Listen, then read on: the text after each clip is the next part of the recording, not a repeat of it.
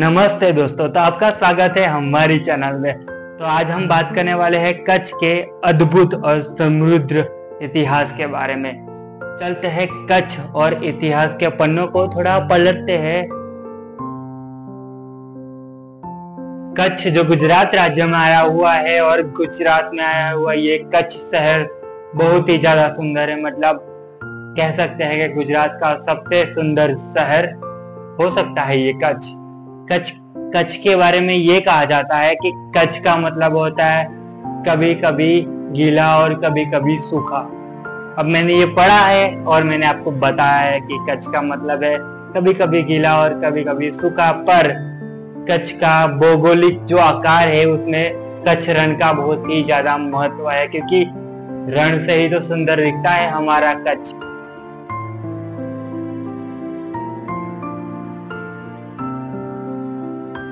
हमारे कच्छ में धोलावीरा आया हुआ है और धोलावीरा सिंधु घाटी की सभ्यता का सबसे सुंदर शहर है। ये पाँच सिंधु घाटी के ऐसे शहर है जिसके बारे में बात की गई है, पर हम बात करेंगे धोलावीरा के बारे में। धोलावीरा बहुत ही ज़्यादा प्राचीन है और ये कच्छ में आया हुआ है और इसकी सुंदरता मतलब आप देखो ना, आप दंग रह जाओगे। आप सोचोगे, यार, इतनी सुंदर जगह थी और इस जगह का ये महत्व था। आपने कभी सोचा नहीं होगा। धोलावीरा के बाद ये चार जगह है जो सिंधु घाटी की प्रतिष्ठा को बढ़ाती है और ये सिंधु घाटी की अमानत है। आपको पता है, कच्छ में कौन से कौन से राजाओं ने राज किया है? तो मैं बताता हूँ। एक तो चालुक्य सोलंकी एंड चावला। राजाओं ने राज किया है। उनको कुछ वंश कहा जाता है। पर पर पर पर र, जो जडेजा सम, जडेजा राजपूत थे उन्होंने कच्छ पे बहुत ही अच्छा शासन किया ये कहा जाता है। मतलब जडेजा राजपूतों ने कच्छ को एक स्वतंत्र राज्य की घोषणा की थी बारहवीं शताब्दी में और भुज उनका राजधानी थी। मतलब सोचो हमारा कच्छ एक राज्य था।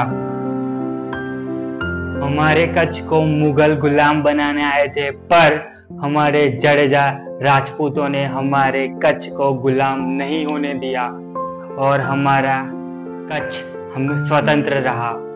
पर 19वीं सदी में अंग्रेज़ों ने ईस्ट इंडिया कंपनी के थ्रू अपने कच्छ को अपने अंदर ले लिया, पर हमारा कच्छ तब भी विशाल था और अब भी विशाल है।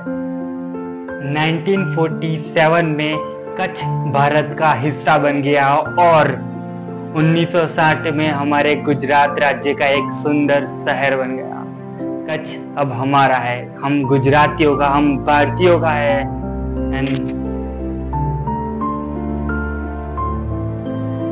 आपको पता है कच्छ में लाखों लोग आते हैं ट्रैवल करने के लिए। और कच्छ की सुंदरता को निहारते हैं। मैं ये कहना चाहता हूँ कि कच्छ नहीं देखा तो कुछ नहीं देखा। तो एक बार आपको कच्छ आना चाहिए।